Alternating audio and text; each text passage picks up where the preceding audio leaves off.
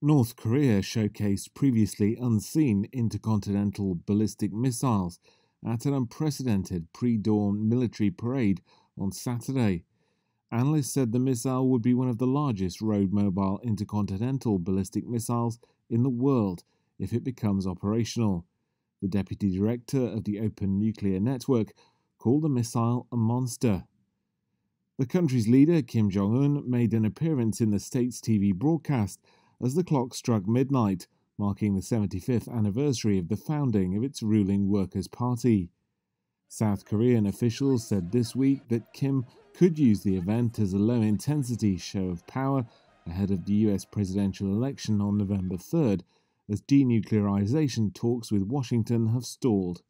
A senior US administration official on Saturday called North Korea's display, quote, disappointing and called on the government to negotiate to achieve a complete denuclearization.